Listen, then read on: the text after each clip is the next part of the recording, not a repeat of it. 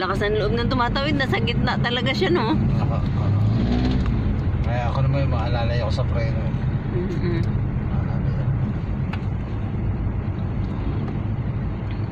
Marami yung ganyan. Pati mga nagmumotor minsan eh.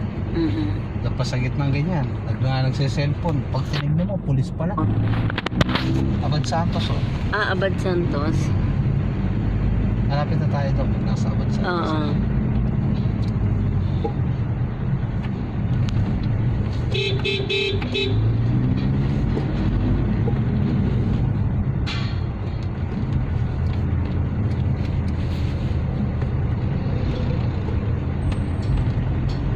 Divisoria, mga mga 4 kilometers away lang ho yung bahay ko. Ah, malapit lang po kayong baby. Pagkaraan ng 300 metro. Kumaliwa sa 151, Jose Abad Santos South.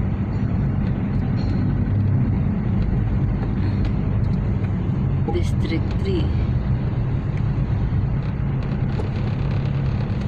Kailangan gumamit kayo ng Waze kung gagaling mo kayo sa Antipolo. Baka sakaling makatulong sa inyo. Kahit paikutin kayo, makakarating din naman kayo.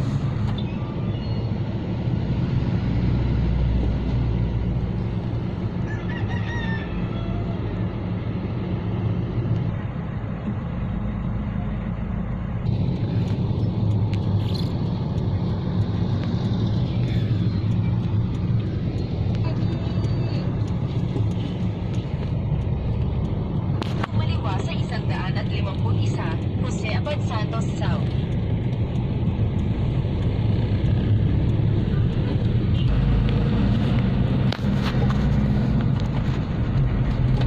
Pagkaraan ng dalawang kilometro. Kumanan sa Plaza Lorenzo Ruiz.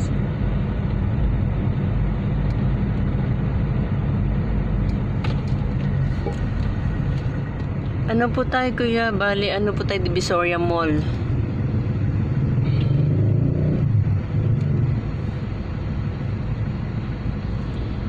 So sa recto tayo. Recto, Opo. recto tapos kakanan pag ano. Ah. punta po tayo. Pasok tayo ng. Mm.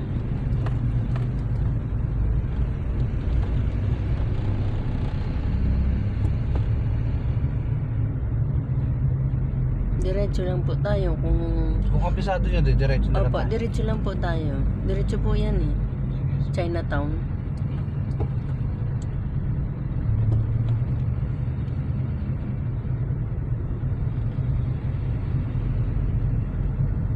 Tapos pagdating sa circle, kakanan po eh. Ka, bali parang kakanan tayo. Parang pa-U-turn papuntang papasok ng One Lona.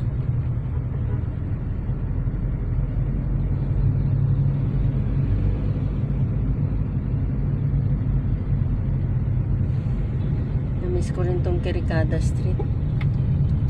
Unang sampa ko ng Maynila, dyan po ako tumira sa Kirikada Street. Ah, dyan ba? Oo. Sa Bandaro, sa kaliwa. Sa aming kamag-anak.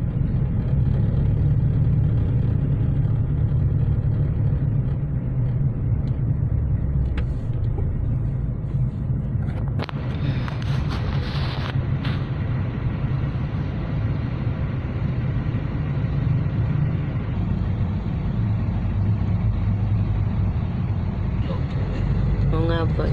Nahiya na po akong tumawid.